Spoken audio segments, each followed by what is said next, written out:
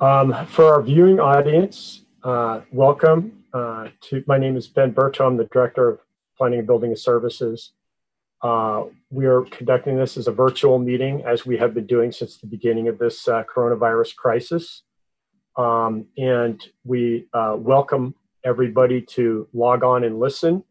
Um, what you're seeing on your screen right now, and presumably also being broadcast via Marin TV uh, the town website, um, are links to join the meeting, um, both something you could type in, or uh, if you're more comfortable using your phone, uh, you can phone in on that number uh, in order to access this meeting and participate during the public participation times.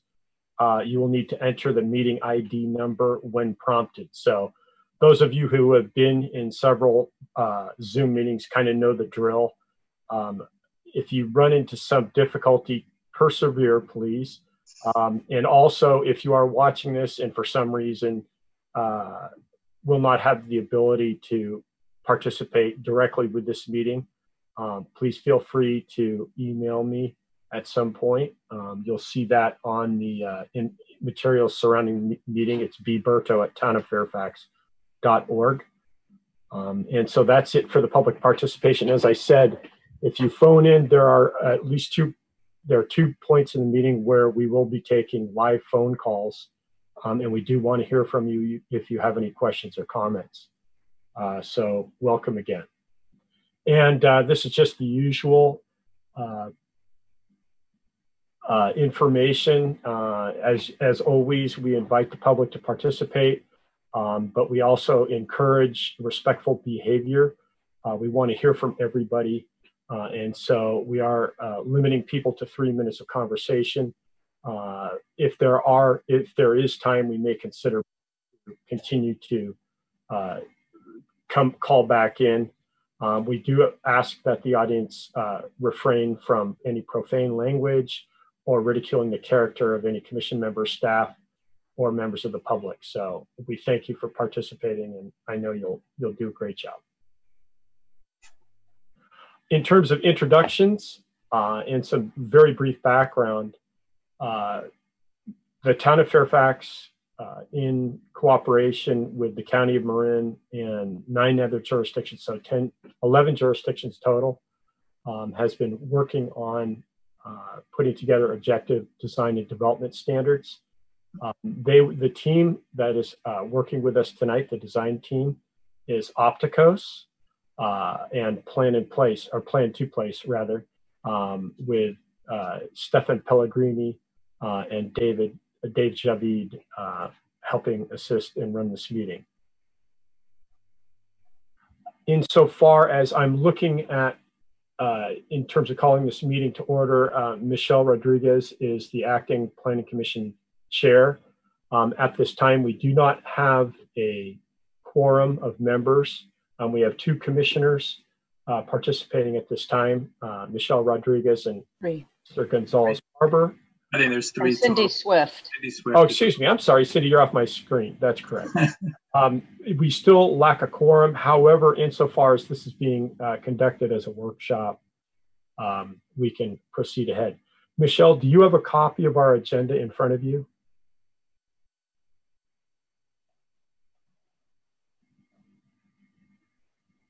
Waiting to hear from Michelle.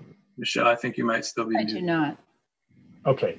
Well, it's basically, it's a very simple approval of the agenda and affidavit of posting. And I will uh, note that this has been posted in th the typical three locations around town, um, at Town Hall, uh, the post office, and at the Women's Club. Uh, so that's been addressed. Um, and with that, I will turn the meeting over to Opticos. Um, Great.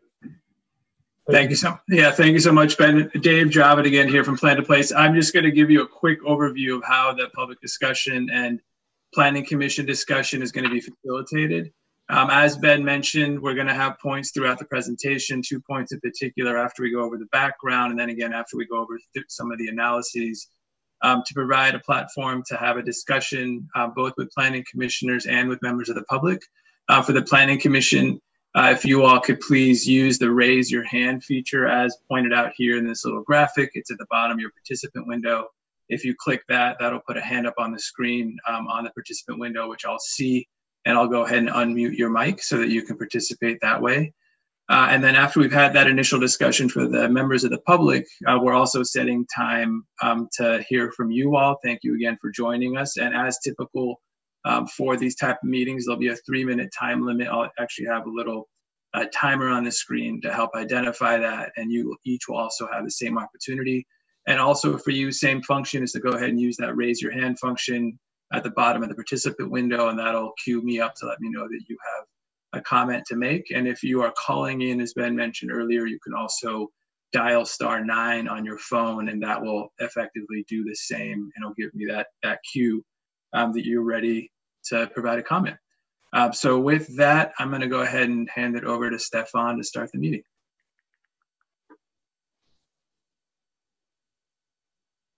Thank you, Dave. Um, and uh, good evening, everyone. Thanks uh, for taking the time to uh, be here with us um, this evening. Uh, my name is Stefan Pellegrini. I am principal at Opticos Design. Uh, we are an urban design architecture and planning firm uh, located in Berkeley, California. And on the line with me this evening is uh, Tony Perez. Uh, Tony Perez is our uh, senior associates and um, is participating in many projects uh, that are related to objective design standards. Um, uh, Dave Javid and Suhaila Sikand are also on the line from Plan to Place. Uh, they are um, also members of the project team. Um, and without us uh, tonight um, are uh, representatives of Lisa Wise Consulting, um, who um, are also participating in the multi-jurisdictional project. So um, uh, as uh, Dave mentioned, this presentation is separated into two sections. in the first section, I'm going to uh, touch on um, the um, first uh, four of the bullets that you see here on the agenda slide, and then we'll take a break for some questions and comments, and then I will follow up and do a second piece that um, provides a little bit more information about the project that we're working on today and a uh, case study that provides a good example of uh, objective design standards. So I'm going to talk a little bit first about um, the project timeline and where we are, um, some information about objective design standards, uh, why they're needed, um, and, um, uh, and what they entail uh, before moving on to a more specific discussion of the Marin County project. Um, as Ben mentioned, we are working with the county and uh, 10 participating jurisdictions. We started this work um, in uh, at the end of 2019, and we are about midway through the second phase of a three-phase project uh, in working clo very closely with um, the planning directors as principal representatives of, uh, of the different communities. Um, what we are working on is actually a series of template-based deliverables uh, that can then be uh, applied um, uh, through a more detailed discussion with individual jurisdictions and their stakeholders. Um, and we anticipate that that phase of the project be uh, beginning um, in, later this year um, in the fall.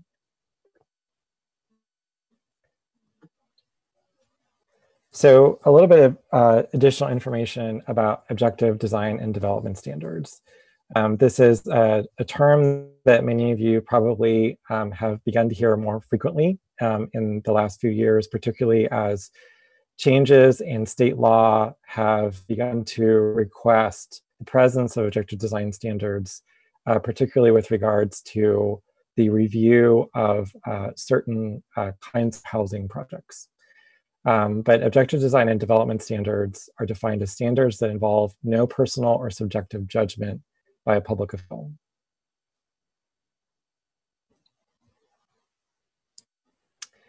And uh, this slide provides some examples of what we mean uh, when we use this term objective design standards. uh, these are three different examples of standards that are written uh, with um, little room for interpretation in mind. Uh, building height, any building with commercial uses on the ground floor of a ground floor of at least 14 feet, measured from floor to ceiling, for example. Um, or uh, particular standards that actually might guide the location and treatment of parking, as in the next one, uh, or uh, standards, for example, that actually might suggest um, uh, uh, how buildings can be massed and scaled um, in, um, for example. And uh, what is uh, typical when we think about objective design standards is uh, the presentation of clear standards, but also accompanied by clear diagrams and imagery that can help to interpret those standards. So this is different from what many communities may be familiar with when, when they think about design guidelines, which in most cases do not provide um, an objective baseline or an objective standard. So there are some examples of design guidelines on this slide. They may include statements um, that are very typical um, uh, in, in, that cities use. Uh, for example, enhance the appearance and livability of the community, or projects shall not require excessive grading. Um, these are useful in starting a, conversation about uh, projects and allowing for um, uh, framing how projects actually can be reviewed, um, but they are not objective.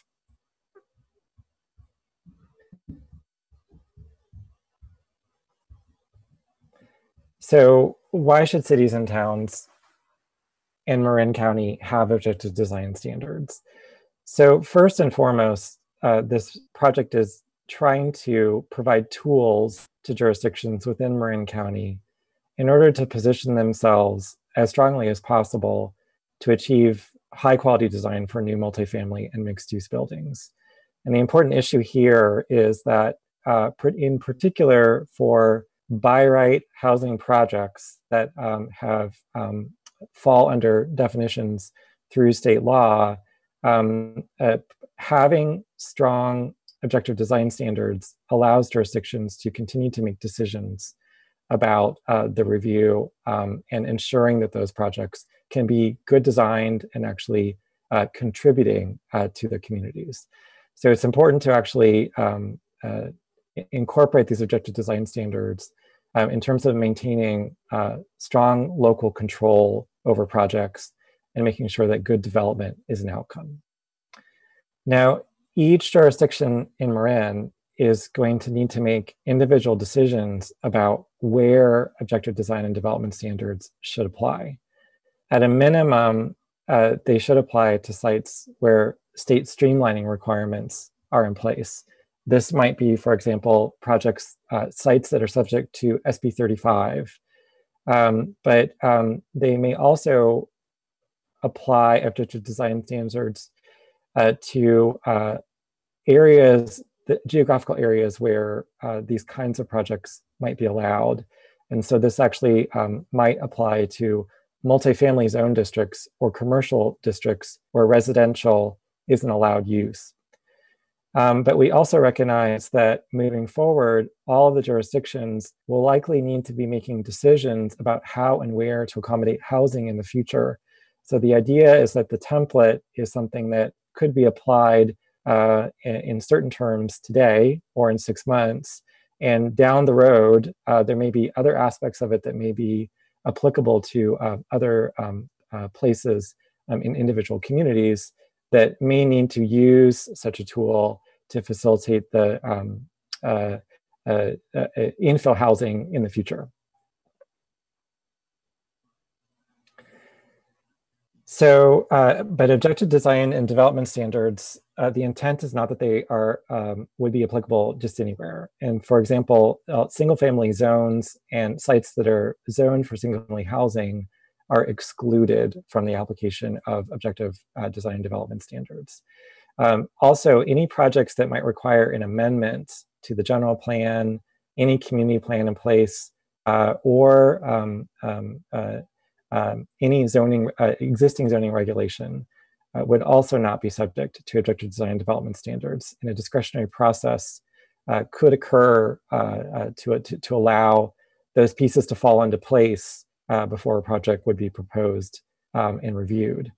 Um, and uh, this as well would exclude any project that might result in any uh, uh, one or more significant public health and safety impacts. For example, sites that actually might be located in flood zones or other high risk areas uh, uh, within the community.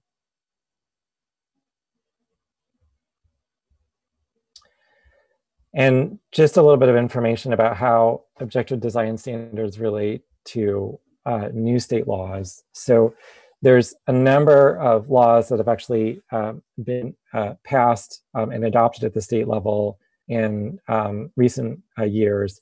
These include SB 35 uh, and uh, more recently the Housing Streamlining Acts and SB 330, which in general are trending toward increased ministerial or by right approvals of housing projects as well as mixed use projects that um, present a two thirds uh, ratio of housing to ground floor non residential space.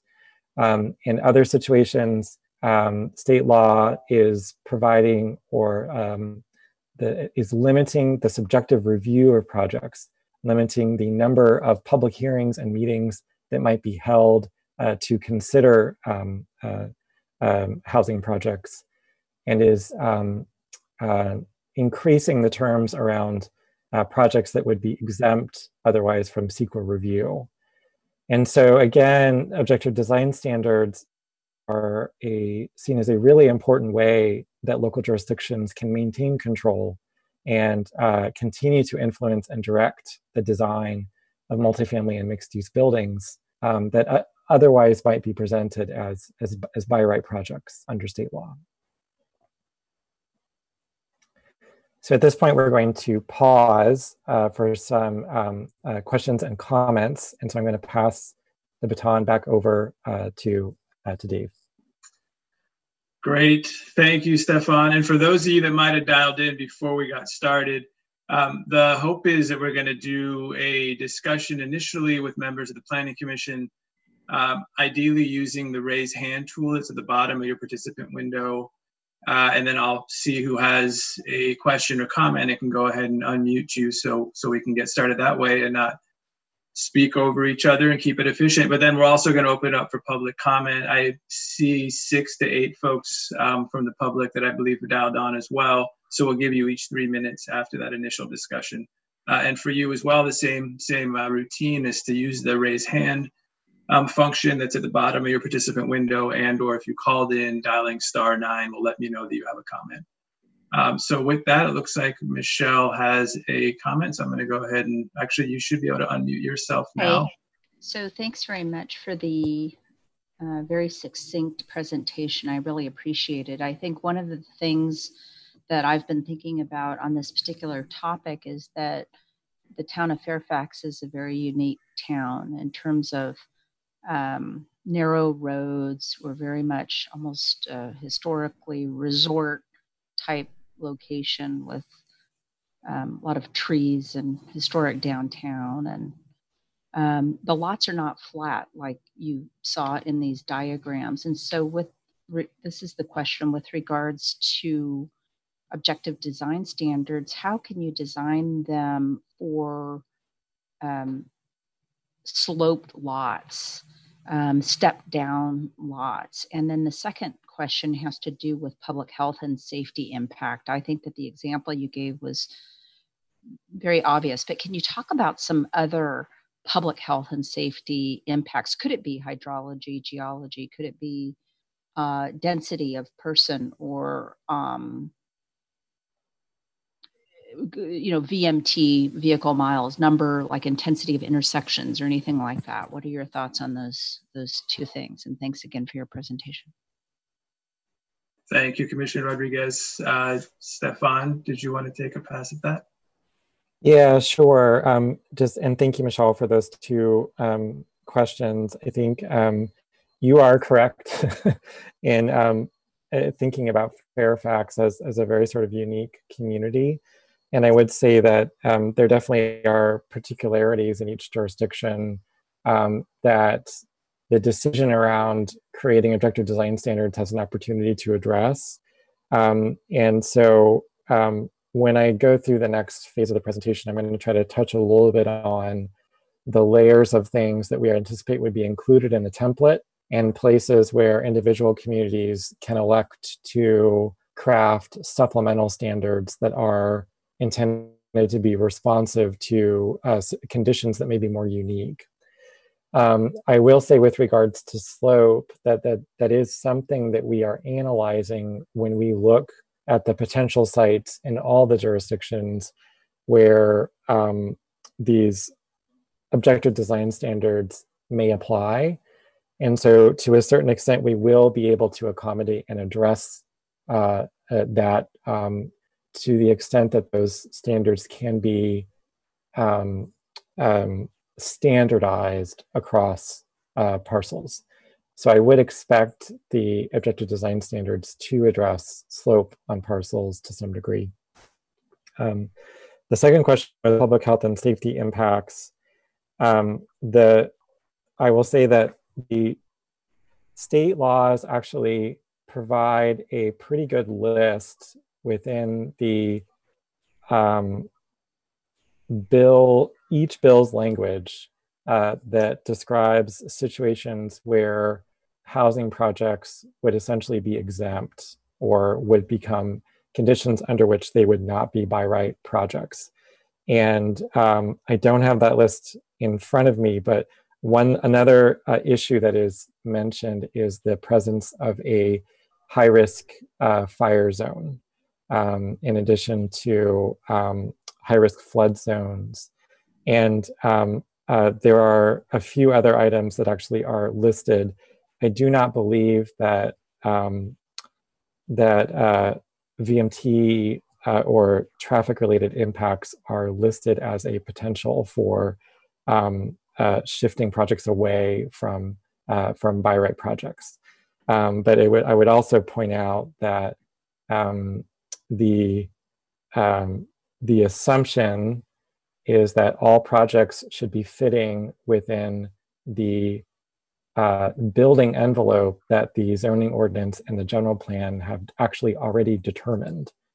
Um, and that in situations where a project would be presented that would exceed those, uh, then it actually would become uh, a project that would be subject to discretionary review.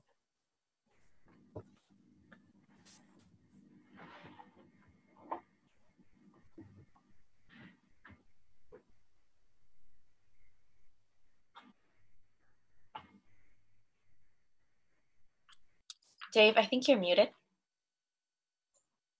That's embarrassing. I should have figured that out by now. Thanks, Stefan, and thank you, uh, Michelle. Uh, Cindy or Esther, any thoughts you'd like to share before we open up for public comment? No? Okay.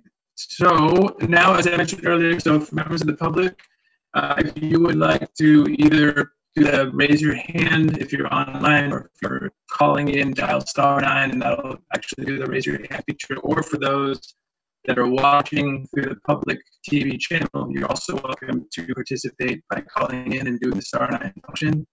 Any comments um, from participants are welcome. I am not seeing anything pop up. And just a reminder for those that might have dialed in, after we started, there will be one more session um, and availability for you to provide comments um, towards the end of the presentation. So we'll go through, oh, looks like Michelle, do you have one more comment? I think there was a couple of other, you know, thoughts. One was um, Ben approached the Planning Commission, and Cindy is going to be on a sub I think it's Cindy, or maybe it's a couple of the planning commissioners going to be on a subcommittee to select a historic um, consultant to do some work that would supplement and add to what you're doing.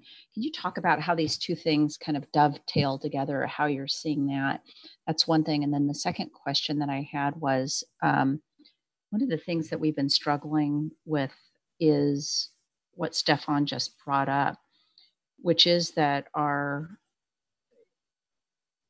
municipal code floor area ratio and the physical construction size that's being built is much greater than what's existing in a neighborhood or adjacent.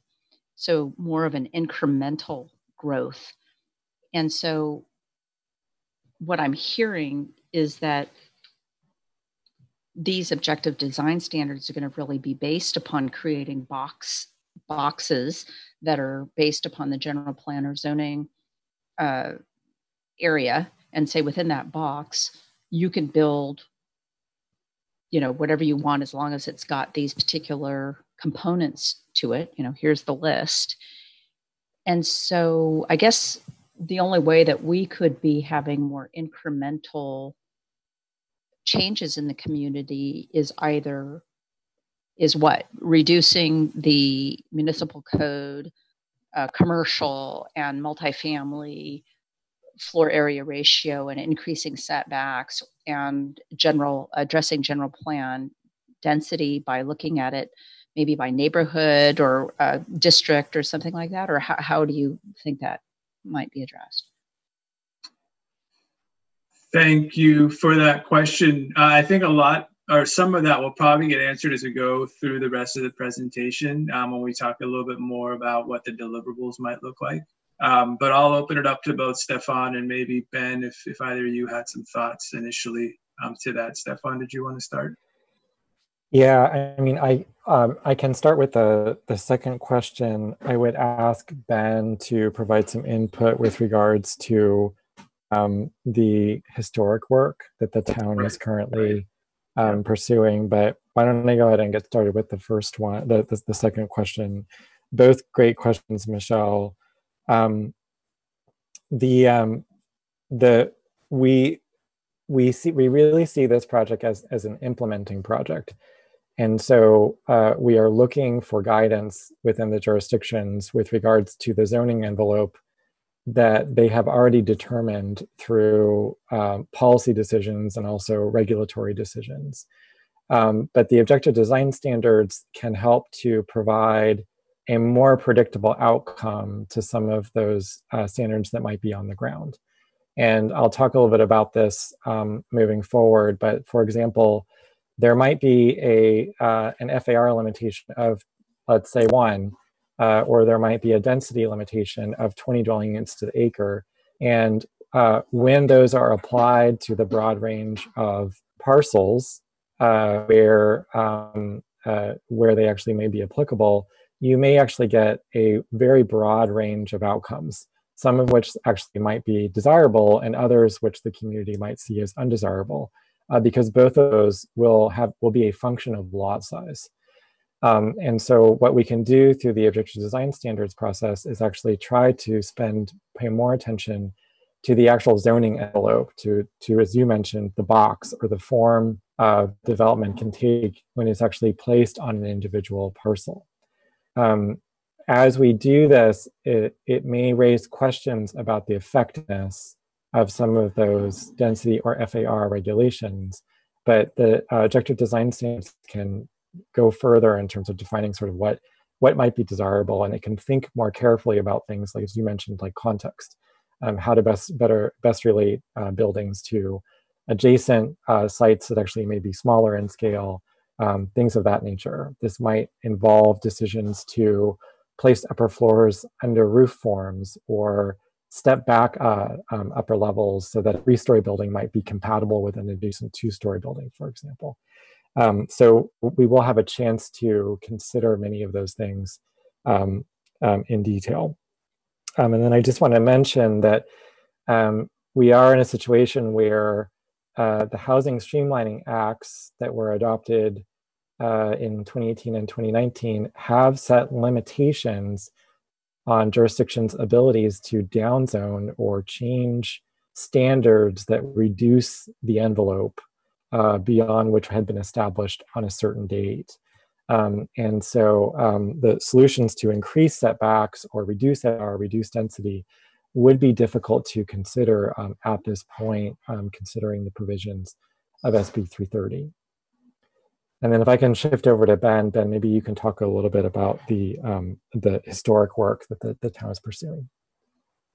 Yes, thank you, Stefan. Um, great remarks, uh, including the cautionary aspect of what state legislation has already done in terms of uh, curtailing any jurisdiction's ability to reduce what we currently have on the books. However, the good news is number one, we're participating in this collaborative effort with uh, other like minded jurisdictions in Marin. Um, and I think uh, Michelle, uh, our chair Rodriguez, excuse me, uh, you will see as we go through these slides um, just the type of details that are so important in determining within a given uh, envelope and height limit, et cetera, um, how we can be very specific with these objective standards uh, in terms of uh, letting developers know through this uh, de- through the community developing these tools and these standards what the town expects and wants and will insist on. Um, another aspect is the historic work. We're uh, in the process of selecting historic consultant now. Um, once we get that person on board, their specific focus will be on the downtown historic area, and they will be looking at uh, characteristics, uh, sort of iconic structures, um, things of that nature. So uh, basically elements that reflect the, the history and the current developed environment of Fairfax. And this will segue into the subjective des- design and development standards effort. Um, so we will be look, taking a very careful look at what Fairfax has and part of the historic character um, that makes this town unique and providing that input into this project and it will be reflected in the final design standards we develop. Great, thank you, Ben. I believe uh, Commissioner Gonzalez Parber had a comment or question. You're now unmuted, or you should be soon. Are you able to unmute yourself? Okay, am I unmute? Can you hear me now? You're good, yeah. Okay. Okay, I just, um, I guess I just uh, have a point of clarification. Um, you know, this has been discussed I, I think in terms of uh, the you know the California mandate uh, to allow uh, the growth, the housing growth through accessory dwelling units, and how um, you know the mandate doesn't really address the specific needs uh, or topography of the individual. So I just want to make sure that I understand uh, when you say that these uh, standards don't apply to uh, single family structures, uh, that is not to say that once you have an accessory dwelling unit, it triggers these objective standards, correct? I don't know if, I, I, I guess what I'm trying to say is as soon as somebody applies for an accessory dwelling unit, is that considered, in your view, a, a multi multi-family? That's that's a very good question. The ADUs are sort of living a separate bucket that from the um, the, the, the, the bevy of state laws that are pushing objective design standards for multifamily housing. It, it, it, sort of ADUs are not considered under that definition as multifamily housing. Um, there, other jurisdictions have expressed uh, a desire and a uh, some concern and a, a, desire to make sure that there are good objective standards for ADUs. Um, and in fact, some jurisdictions in Marin really leverage ADUs and, or second units on residential lots in order to meet their, uh, their RHNA numbers. Um, so um, it's very uh, possible that this project will have an opportunity to look at creating objective standards for ADUs. Um, but the, the, the, the, the, bevy of state laws that are sort of pushing for streamlining are really focused on multifamily housing and mixed use residential, non residential uh, uh, buildings um, uh, and, and, the need for objective design standards around those. If, if I might interject briefly, uh, it, Fairfax is also collaborating with a number of other Marin jurisdictions um, separate from this objective design process, um, but in working on ADU uh, furthering ADU regulations, and some of that uh, could well include some design standards and eventually a workbook product. So, um, you know, key, uh, building off Stefan's remarks, I think Fairfax will in the future have uh, more comprehensive ADU regulations. Great, thank you, Ben. It looked like Commissioner Swift has a comment or question. Okay, so along the lines of Esther's question regarding ADUs, we have um, single family zoning in Fairfax, but how does this apply to a duplex that may be in a single family zone? It sounds like it would be similar to the approach to ADUs, or no? Uh, Commissioner Swift, I think that's probably one of those uh, detailed questions that uh, we could probably report out to your commission um, at the upcoming uh, June Planning Commission meeting. So this is part of what we will be doing tonight in addition to recording this meeting um, is taking some of the more in-depth questions and uh, and uh, doing some research and coming back with you. But the duplex question is, is, a, is a good one. Great, thank you all. So with that, we have the exciting part of the presentation left where we're going to get a little bit more into what the analysis looks like and what the potential deliverable can be. Um, and I didn't see any other comments from the public, so we're going to go ahead and power forward here. So Stefan, back to you. Let's get you going here. Oh, we didn't need that. Let's move on. There we go. Thank you. Um, thank you, uh, David, and everyone's uh, questions so far. So I'm going to talk, uh, start by talking a little bit about phases one and two of this three phase project. And as I mentioned, uh, some of this work is underway, um, uh, uh working closely with the, the, the planning directors um, in the different jurisdictions. So I'm going to touch on an existing conditions analysis uh, that we pr uh, prepared. Um, I will talk a little bit about the countywide survey uh, which is uh, still open and available um, uh, to take. And then I will talk about the most recent uh, deliverable um, uh, for the jurisdictions, the place types and building types atlas. And then some ongoing work that some of the jurisdictions have elected to do to supplement the process. Um, and um, that includes some more detailed analysis of particular locations in some of the communities, uh, as well as some um, site testing uh, of sites that are seen as being important um, for, um, uh, for multifamily development. So starting with the existing conditions analysis, we asked each jurisdiction to provide for us uh, um, sites that in their community uh, that um, where they felt that objective design standards might be applicable. Um, these might be uh, sites uh, that are subject to SB 35 in some cases.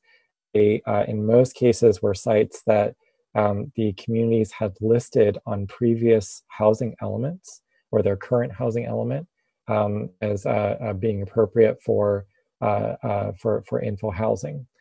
And when we looked at those parcels, we received information, and um, I'm probably going to get this number wrong. I think it's 763 individual parcels um, across the county uh, were submitted um, by the, the participating jurisdictions. And uh, we looked at categorizing uh, those uh, sites into initial buckets as a way to uh, start to understand uh, what the different um, qualities that we needed to analyze would be. So we looked at their location within communities, whether they were in edge condition, um, a suburban condition or that they existed in the sort of the cores of communities, whether in some of the traditional downtowns that many of you are familiar with. Uh, we looked at whether the um, sites were um, along uh, corridors or within neighborhoods. Uh, we looked at the top topographical conditions of these sites, uh, their uh, lot sizes, whether they were sort of small, medium, large, or outliers, and we also looked at their adjacencies, uh, whether they were within multifamily areas, whether they were adjacent to commercial zones, et cetera. Uh, and we looked at some information with regards to constraints. This was helpful for us because it helped us start to put the sites that are in existing jurisdictions into um, some preliminary buckets. And it helped us to start to understand what characteristics a community like Fairfax might have that might be shared across other jurisdictions. Uh, again, thinking about where opportunities to apply a template uh, might be appropriate.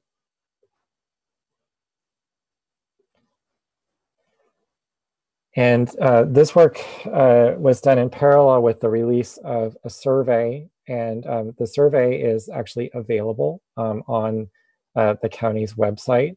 Um, this has been open for, uh, I believe, about 30 days, and we've received some uh, pretty good responses uh, so far.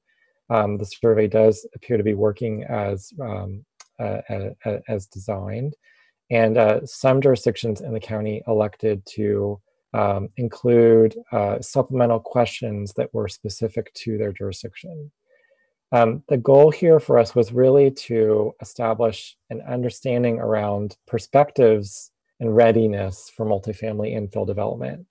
And we also want to try to understand and help to identify key challenges and opportunities that might be addressed. And so we're thinking about this somewhat differently than a visual preference survey and we're thinking about it largely about sort of uh, to help inform um, uh, help inform what components of the uh, of the objective design standards we should focus on down the road, um, but also uh, how folks feel about this and how ready they might be in individual communities. Uh, and we hope that both of the, both sets of these information is sort of useful for us as we shift later on in the process to applying uh, the template locally um, uh, in, in, different jurisdictions.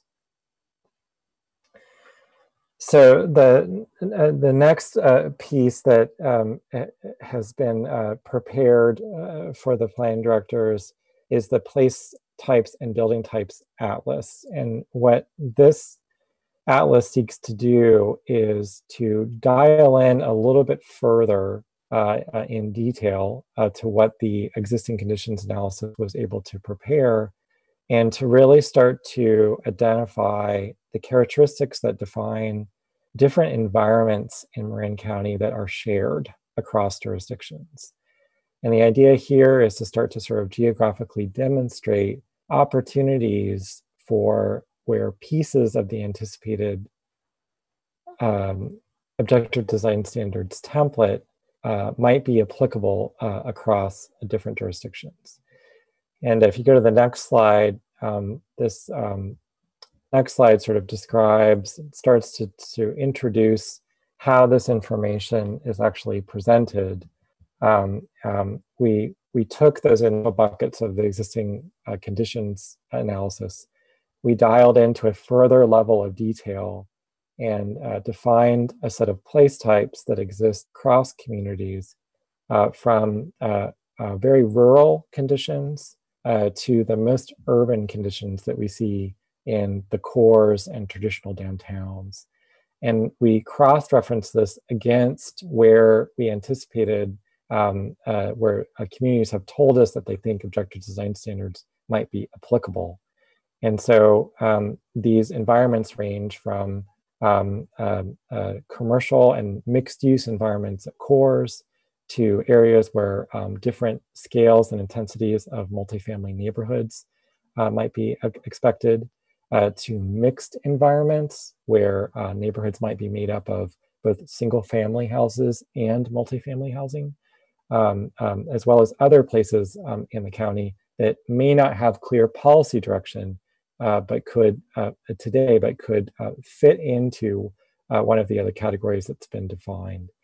Um, this information right now is in the process of being finalized, and we anticipate that this will be very useful again as we shift to having a conversation about how and where the template can be applicable.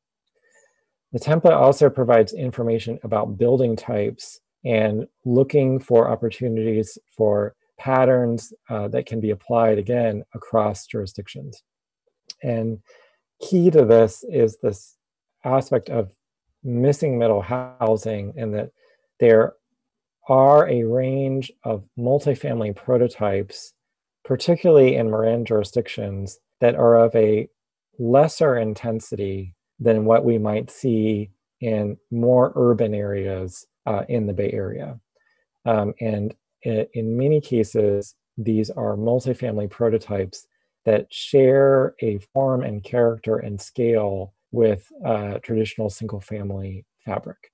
So we want to understand how we can create standards that might be appropriate for duplexes, triplexes, and fourplexes, very small apartments, bungalow courts, um, other multifamily prototypes that can either be placed within these mixed single and multifamily environments or uh, uh, be used to sort of uh, create um, transition areas that are adjacent uh, to single family environments and can overcome some of these issues um, around neighborhood compatibility that might otherwise arise. So um, those are that's sort of a summary of the sort of the pieces of phases one and two and in phase three, we're going to take a lot of that content and we're going to, we anticipate developing objective design standards that are organized into a range of zone districts that can actually accommodate or are applicable to the, the, range of rural to urban environments that you see um, in the county and the different jurisdictions. And the idea is that uh, the jurisdictions can pick and choose from that template to apply to the environments that actually might be applicable for them. So there might be sort of a downtown zone, for example, that is applicable to a couple of jurisdictions. There might be something that's applicable to corridors that also might be applicable to a few other jurisdictions. So the intent is not to sort of create a one size fits all template, but to create a menu that the different jurisdictions can pick and choose from to meet uh, the, the, the, the, conditions that they, that, that, that they might have. We also anticipate that um, the template will need to address how communities are reviewing and administrating re, administering review around these kinds of projects. And so we'll provide, the template will include some information about um, review procedures, admin and review procedures for uh, where these right standards might be applicable. As I suggested before, and this is an important component, jurisdictions will make a choice about how they actually want to apply the template. And in some situations, you can imagine that if this is only applicable to right projects, it might be applied as an overlay zone where it only is triggered if certain kinds of projects are proposed. We know that some jurisdictions are interested in this approach. We know that other jurisdictions are thinking about this as a tool to help meet their RHNA requirements, whether existing or future. And they might be thinking about this as a more wholesale change to the zoning, to, to applying a rezone and, uh, and introducing these objective design standard zones to replace existing multifamily or mixed use zoning that they might have on the books. Um, there's a second component to this that's very important, which is information about architectural patterns. And we uh, want to, uh, the, the template anticipate will include standards that be applied to provide additional detail around um, architectural treatments. And uh, in some situations, Fairfax included, uh, there's an opportunity to do a further layer of documentation that can provide additional information about architectural style and really sort of dial in, try to dial in sort of questions about context sensitivity and the introduction of new buildings into what might be considered a historic context, for example. And we'll have an opportunity to talk about that a little bit more in the presentation. Once that information goes into the, uh, to the jurisdictions, we anticipate that there will be a more detailed discussion around the local application of, of those standards. And so at that point, uh, during uh, phase three in the fall, uh, many of the jurisdictions have uh, designed and created a community engagement plan and are anticipating additional public meetings and work with for around additional public hearings that would um, facilitate more public discussion about how the template might be applied locally. And these next pages are just sort of provide sort of introductory example of what we can anticipate when we think about objective design standards. we anticipate that the template will actually provide standards that uh, are uh, provide uh, that are that are described in a sort of a very clear set of tables and accompanying diagrams uh, that describe uh, how buildings might be placed on lots, um, their frontage conditions, their height conditions, the form and character of individual buildings, for example. We also anticipate that they will provide supplemental standards for things like building types, um, uh, particular conditions like uh, sloped lots, for example, or uh, other conditions that might need to be addressed, like adjacence, um, adjacency conditions to family homes or um, adjacencies to um, historic properties, for example. Um, we anticipate that all of those things will be addressed in the template. Um, the template will also include information about architectural standards that will provide an additional layer of information with regards to building massing, uh, facade composition, uh, the nature around openings and exterior elements, um, and uh, and we do anticipate, for example, in Fairfax, that additional information will be included that addresses different architectural styles and treatments uh, that would ensure that buildings would be reflective of particular conditions within the community. So in closing, I'm just going to talk a little bit about um, an example in Marin where objective design standards have been applied. Um, this is a case study from the community of Novato. Uh, this work was uh, done uh, in the last few years and is anticipate is is is waiting for adoption uh, upon uh, completion of the uh, ongoing general plan update, um, which is anticipated to be completed later this year. Um, the Northwest neighborhood is a mixed single family and multifamily neighborhood that's adjacent to downtown Novato. Uh, it's about 50 acres in size.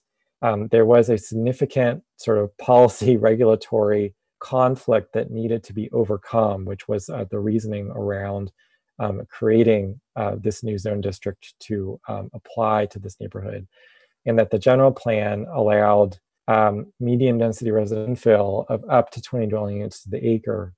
Uh, but the zoning had a legacy standard that limited infill of, uh, of only 10 dwelling units to the acre. So the idea was to bring zoning forward that would enable the general plan policy direction for 20 dwelling units to the acre in a form and character that would be uh, accepted by the community. Um, and so the attention to objective design standards that paid attention to the form and character of buildings to sort of try to resolve uh, some of those issues. So if you go to the next slide, a little bit additional context is that the quandary was that many, many sites within the community already exceeded the 20 dwelling uh, to the acre max that was set in the general plan. Um, but the, the, the, the standards were created as a response to really bad infill buildings um, that uh, really started to um, um uh, uh, uh, change the character of the neighborhood uh, starting um, in the 1960s and the 1970s. And um, these buildings were uh, more so a, a, result of the sort of the application of sort of bad standards that didn't have an opportunity to reflect some of these local context issues.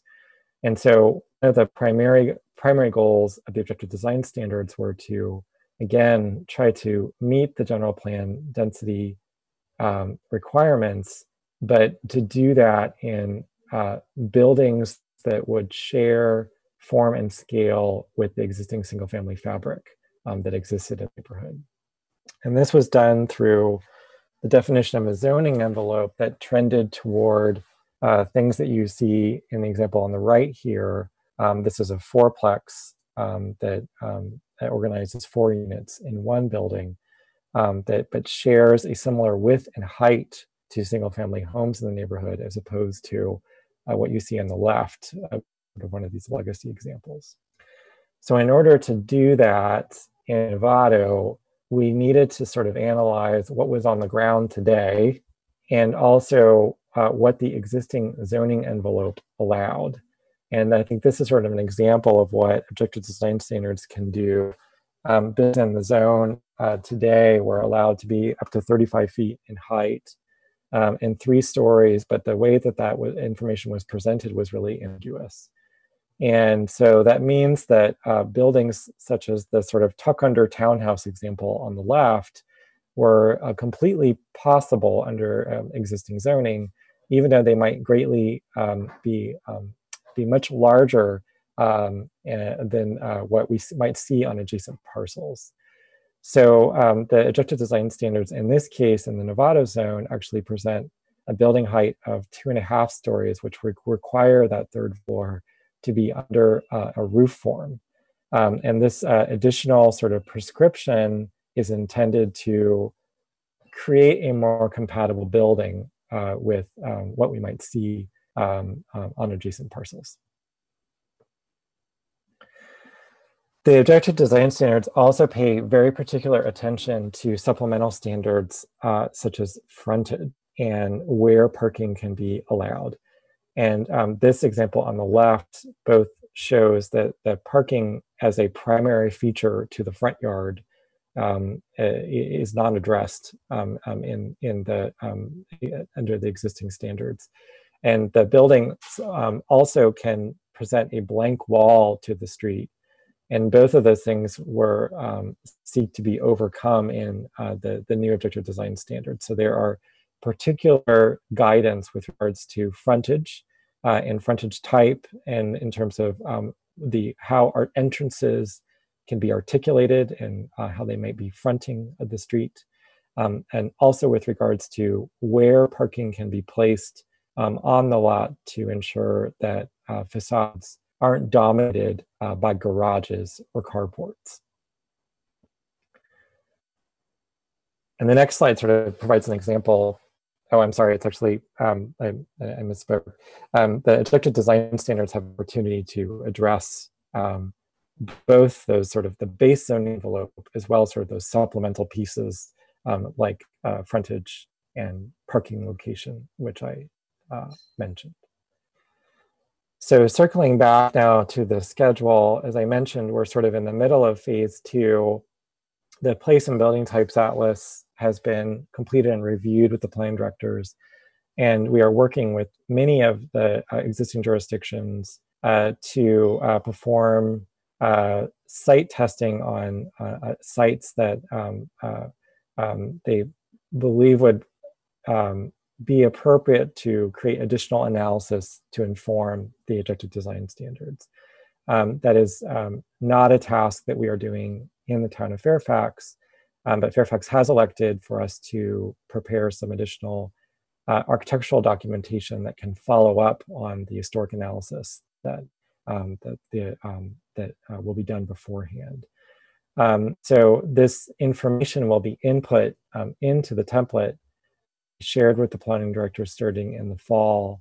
And then we anticipate a more detailed discussion with individual communities as they work to apply portions of the, uh, the, the, uh, the, template that may be applicable uh, to the individual uh, conditions um, in their respective communities. So that concludes the second um, uh, uh, piece of the presentation this evening and I will turn it back over uh, to Dave to facilitate questions and comments. Thank you very much, Stefan. I believe, if I'm not mistaken, we have Commissioner Newton on with us now as well. Um, and if so, I'm going to request that you turn your video on if you can. Um, thank you for joining us. Uh, looks like we have a question or comment from Commissioner Swift. I had a couple of questions, one on the process um, and one on the survey. So, as far as the process, it seems that the planning staff and you all have been doing a lot of work, that there's been an existing conditions analysis and key findings for our community. Um, the planning director has provided you all a number of sites as as examples. So my question on the on the on the process is we haven't seen any of that um, so far. So, is the expectation that the community won't see any of the work that's been done until phase three, when there's review of a toolkit that's already kind of drafted? So, that's my first question. Um, and I'll wait on that for my second question. Thank you, Commissioner Swift. I'm going to ask both uh, Stefan and maybe Ben to help answer that question. You both should be able to unmute yourselves. Um, I could start, um, and then um, maybe Ben can uh, sort of follow up. So um, the the work that we are doing with the planning directors, uh, they have been the primary guide for that work um, different jurisdictions have made different choices about the degree to which they want to involve um, uh, stakeholders or the public through the first um, elements of this process. So, for example, we are working in parallel with a steering committee um, that is conducting public meetings around this content. Um, the um, we I will say that we are working to ensure that this is an implementing project and not a visioning project, and that um, we are being careful to analyze information and content that is already part of existing policy and regulation. Um, and um, we anticipate that it, where there are questions around um, items, will it will really be important for the public to provide input on um, uh, the strategy which the something like the template would be applied, um, and the extent to which it would be applied, and also the extent to which it needs to be modified in order to make that application local application make sense. Um, so um, I will sort of conclude there and then ask Ben if he wants to add anything. Yes, thank you, Stefan. Uh, in terms of where staff has been um, in discussions with uh, other stakeholders, as Commissioner Swift is aware, this uh, process has been discussed several times with the Planning Commission. In the course of those discussions, uh, it, it seemed as though that the direction was to uh, emphasize the historical character. Um, and that's why uh, we are going in that direction um, with the hiring of the historic consultant and the look at um, the historic elements um, that comprise our downtown area um, and our corridors along Sir Francis Drake and Broadway. Uh, in terms of other other uh, locations that were selected, um, some of those were pre-selected. They're listed in our housing element um, as receiver sites, and so those are obvious nominees uh, for this process. Um, and as Commissioner Swift is aware, there's a number of those. Um, in in terms of when this loops around, uh, we will the historic analysis will be operating in parallel with the work that uh, uh, Opticos uh, is doing. And so the idea is as we get more information about which specific historic features, um, maybe iconoclastic uh, locations, um, I can say that the Alpine building at the corner of Broadway and Bolinas was listed as a building. Um, that's obviously one of the signature structures in town, and it's a historic structure, of course, in its own right. So um, hopefully that helps answer that question. Okay, and thank you. And then my second question relates to the survey. Do you have a sense of how many, because on the survey, takers will identify what community they're from? So, do you have a sense of how many Fairfax residents have taken the survey to date and how long the survey will remain open?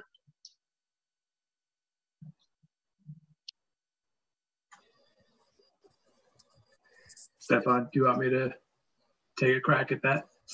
yeah, well, um, the I, I, I don't have information available right now on the number of respondents from the town, um, but that information is available. We can get that to you as a follow up. Um, uh, I am looking here. Um, the most recent information I have on that on that uptake is um, uh, over two weeks ago, and there were uh, at that time there were about 250 responses. Um, and so, and I, I don't, I can, we can definitely get some additional information on uh, for you on that. Um, and then um, I believe that the goal is to try to leave this open um, until the end of June. Is that correct? End of June, yeah. End of June, yeah. That's right. Okay. Yeah, we extended it out to allow more folks to, to plug in. So the 250 approximately were just Fairfax respondents, right? Or overall? No, I can tell you the data I have is that as of May 11th, I'm, I'm sorry that that's the most recent data. I'm sorry. Yeah, as of May 11th, there were 288 responses to the survey uh, in the county. Got it. Countywide. So, and those numbers have continued to increase um, in the last uh, two weeks. And if I might uh, jump in here um, to note that links to those um, have been posted on the town's website. Uh, if you go to the first page of the town website and click down or scroll down to news, and you will see uh, a header that talks about objective design and development standards. Um, that will take you to the survey link. Um, as Commissioner Swift is also aware, staff has been repeatedly um, mentioning the availability of that survey um, at the Planning Commission meetings, several Planning Commission meetings, uh, and we continue to do so. We hope that every person who uh, is listening in on this broadcast um, or may watch the recording of this. I understand we are, we are double booked tonight. That was unfortunate. But if you are, uh, we want to hear from you what your response is to those survey questions. It's very important. As um, our team has indicated tonight, this will provide important information about local residents' preferences uh, for the future objective design and development standards. So it's still open. It will continue to be open and uh, get online and uh, make your comment. And do provide yourself with a little bit of time. It's it's fairly in depth, so I would say, I don't know, Commissioner Swift, would, what would you guess? Half an hour?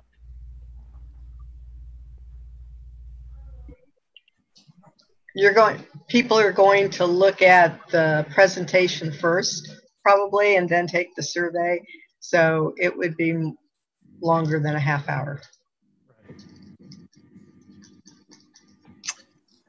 but well worth it. Yeah, I appreciate that, Commissioner Swift. Thanks for the plug. Thanks for the plug. Appreciate that. So, uh, Chair Rodriguez, oh, did you have a comment, Tony? Yeah, I had a little information on the number of respondents from Great. Fairfax. So, um, as of the week of uh, the May 4th week, uh, and we'll get more updated numbers, as of that week, uh, the, the uh, respondents from Fairfax were seven um, and uh, the most were from Mill Valley, and the second most were from Corte Madera, and then Sausalito. Great, thank you for that, Tony. Yeah, again, more reason to keep it open and uh, and continue to share the word. And anything you all can do to help us spread the word would be greatly appreciated as well. Um, Chair Rodriguez, you were next. I was um, curious first about the existing conditions analysis and the building place types analysis. Um, any reflection that you have on how those might be? What were your findings regarding Fairfax? That's kind of one of one of my questions. Another is, where are those existing conditions analysis and building place type atlases located because they're not on this, the town website they're not on the county website so where where can we see them that's that's one question and maybe i'll wait unless you want me to give you the others all at once uh, maybe we could answer that question for you and then we'll get to the second question if that's okay stefan did you want to take that um, the first question was about any reflection on what we learned from Fairfax with regards to the existing conditions memo or the work that we did in the place types atlas. Um, and uh, I will, Tony, I don't know if you want to add anything, but my um, my my reaction is that there are, um, from the standpoint of uh, sort of lot prototypes, lot sizes, setback conditions, um, we do see some commonality um, in uh, particularly in sort of the core of Fairfax that we see in other communities. Um, and um, Fairfax is a sort of an interesting place because it's sort of in the middle on the spectrum. It's not the most, it doesn't represent sort of the most rural conditions in the county, and it certainly doesn't represent sort of the other end of the spectrum that you might see in a place like San Rafael. Um, but it is um, we I think we do see some sort of shared um, characteristics, um, and um, Tony, I don't know if you sort of want to add anything to that sort of at this point based on what we found from those two documents. No, I think that that summarizes it well. And then um, with regards to where where these documents are, um, I I'm not the best person to, to answer that question. so um, um, I don't know if anybody else can can chime in on um, how those are intended to be made available. Yeah, I don't know if, if Ben, if you want to respond to that, but I know that initially I, the the goal with those analyses were meant just as that as kind of foundational analyses that will then feed into the final product of of the uh, objective design standards. And at that point it'll kind of holistically i think be a package just delivered for for everyone's view. Initially it was it was meant to get feedback from planning directors um, to fine tune as we move through the process. So it wasn't really meant to be posted on the website or shared in any way. Um, so that that was the initial intent there. Ben, did you have anything to add to that? Well, just to uh, comment that one of our challenges uh, is that we have many things on our plate um, at this time, uh, not the least of which is uh, things that we were hoping to do in early March uh, via in person workshops uh, had to be rescheduled, is the word. Um, and then it went to a video, which is also on the town website. Um, so I think we're, we're dealing with a somewhat truncated uh, situation. Um, and second, as you indicated, Dave, that was my understanding also, is this is foundational information.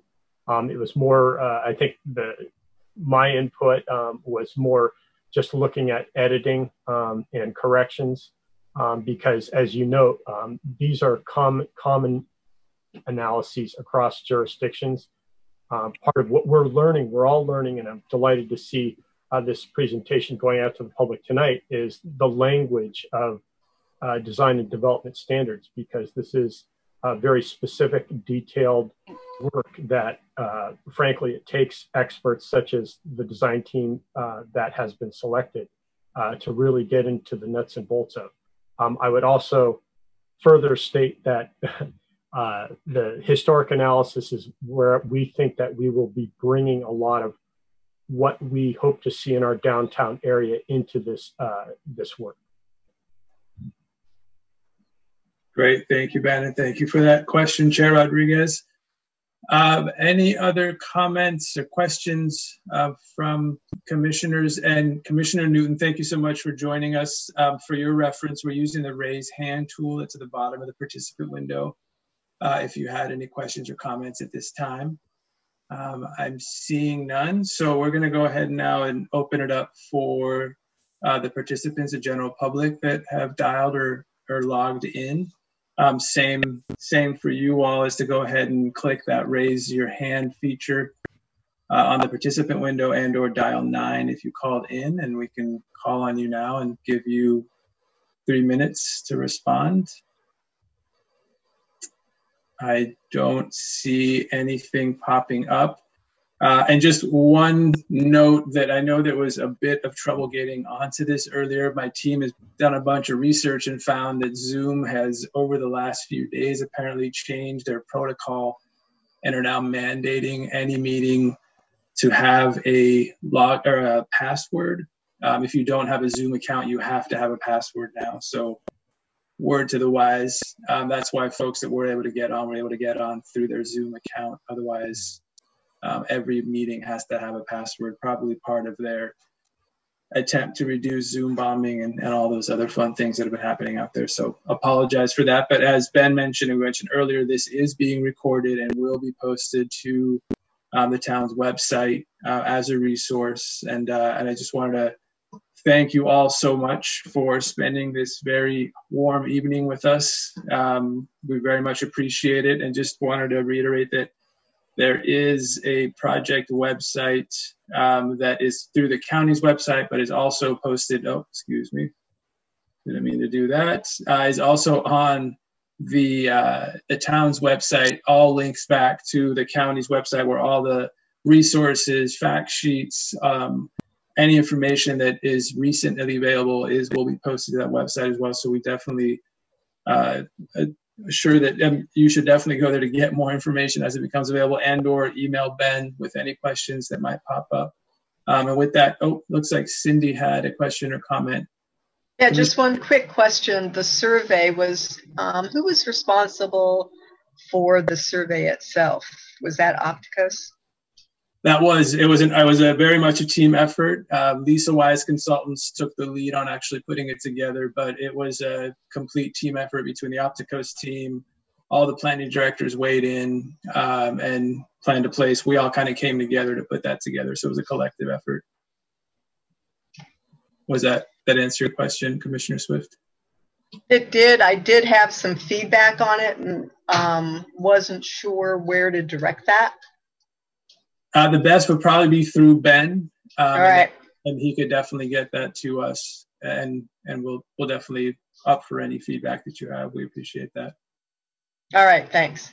Thank you, Ben. Any closing thoughts, words of wisdom as we wrap this up? Excuse me, got the mute off.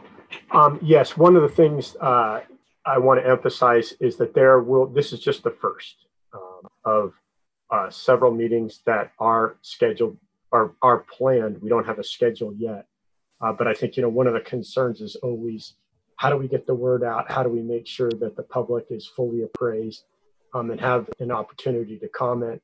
Um, I'm uh, disappointed to hear that Zoom has added a layer of challenge, but I think we all know that uh, as we go into this virtual world, there have been any number of problems um, trying to go to a virtual platform. And thus far with Fairfax, it seems like it's been pretty good.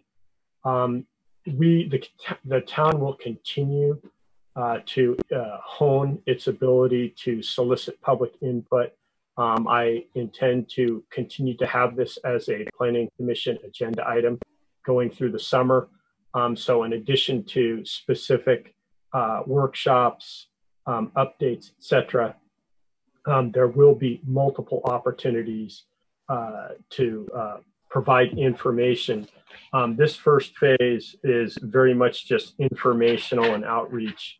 And so nothing's been decided. Um, everybody, uh, planning, the planning department, uh, our design team, etc. Our goal is to end up with uh, uh, standards that are reflective of Fairfax and accepted by the community. Great point. Thank you so much for that, Ben. Uh, unless there's any other comments or questions, I think we'll go ahead and adjourn this meeting. So I want to. Yeah. Oh, I, I, just want to jump in here. I'm not sure if uh, uh, Commissioner Gonzalez is here. Um, let me just check at my list. Uh, I don't. Let me just take another look here because the only reason I'm saying that is if there is a meeting, uh, if, if we do have a, no, we don't have a quorum. Okay. So if we had a quorum, it would be appropriate for the chair to uh, formally declare the meeting as adjourned before we stop the tape. But we're back down to three commissioners. Sure. Okay. Great. Okay. Uh, with that, I think we'll, we'll go ahead and adjourn then. I, do we have four? Chair Rodriguez, is that what you meant?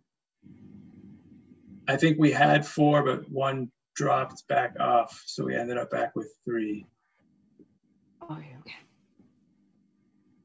Cindy, Michelle, Mimi. That's right. Yeah. Yeah. So I, I'm I'm happy to let you adjourn just to make sure we're safe. There you go. Would you like to do the official adjournment, Chair Rodriguez? I'm I'm seeing no. Okay. there you go. All right. Then I think we are uh, officially done with this meeting. I want to thank you all again and please stay tuned and we'll be back in touch with more opportunities to engage with the process. Thank you so much. Have a Thank great you. night.